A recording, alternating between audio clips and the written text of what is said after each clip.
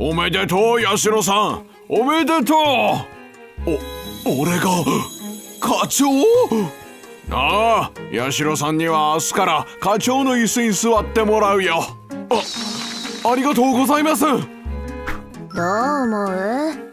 あの八代さんが課長って。うーんやばい匂いしかしない。でもうちの会社って年功序列なところあるだろ八代さん50代だしそろそろって上が思ったんじゃないの？納得いかない。あんな無能な人が上司なんて。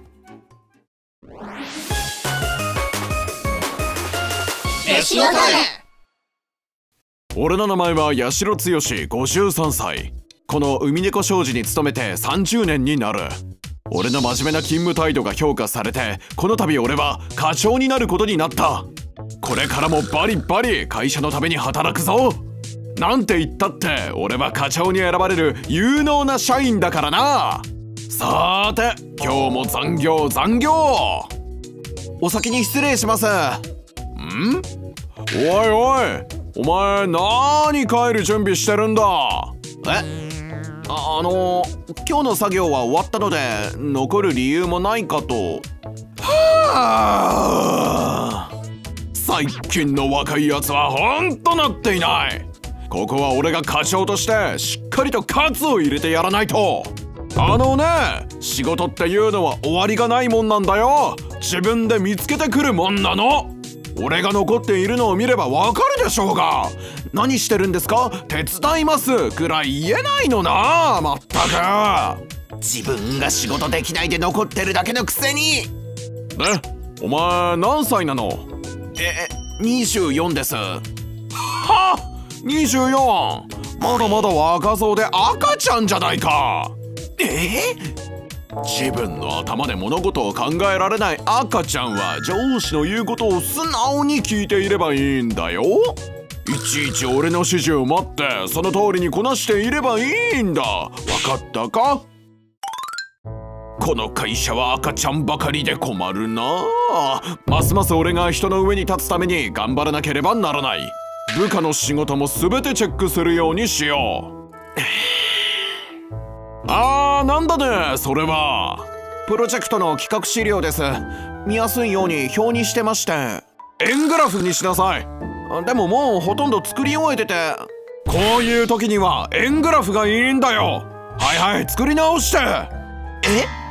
やっぱり私が目を光らせていなきゃ何もできない奴らばかりだ。俺がいないとこの会社はやっていけないだろう。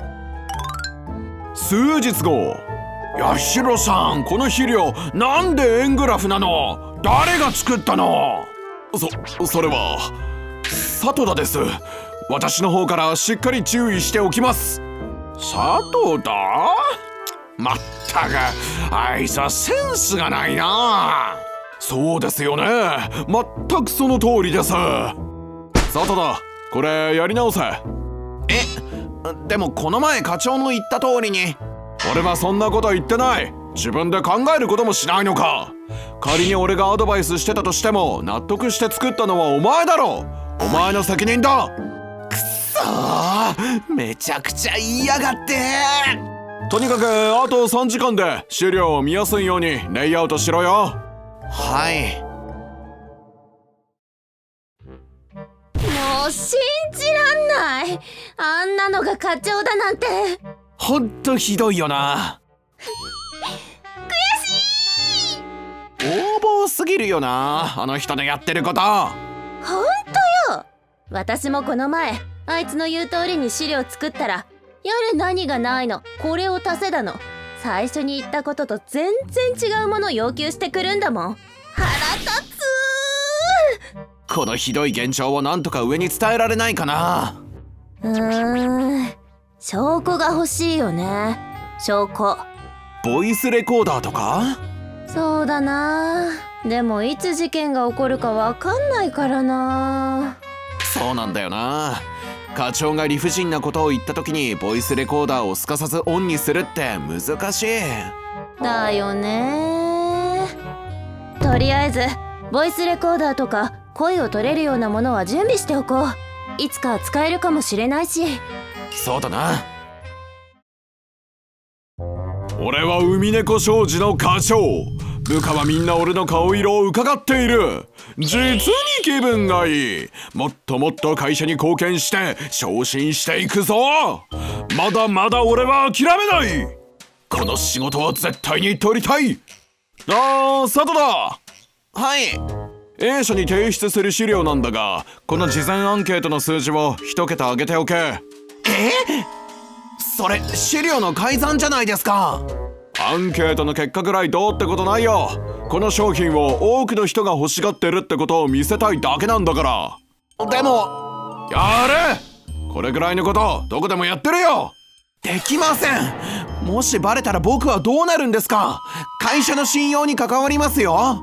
いざとなったら俺が責任を持つ。やれ！何が解散だ？アンケート資料くらいどうしたって言うんだ？まったく今の若者は度胸が足りなくて困る。その後俺たちの作った資料を信じた A 社との契約が成立したのだが。社内調査で資料に問題点があったと先方から指摘された。め面倒なことになった。こんな大ごとになるだなんて。課長！課長！どうしたらいいんですか？アンケートの数字を変えるように言ったのは課長ですよね。あの時全責任を負うって言いましたよね。何の話だ？な、な、何言ってるんだ？俺は何も言ってない。お前が始末書を書けば済むことなのになぜ俺になすりつけてくるんだ？これを聞いてください。それ資料の改ざんじゃないですか。アンケートの結果くらいどうってことないよこの商品を多くの人が欲しがってるってことを見せたいだけなんだから。でもやれ！これくらいのことどこでもやってるよ！周平君の机にボイスレコーダーを仕掛けておいたんです。二人きりになった時を見計らって。な何を？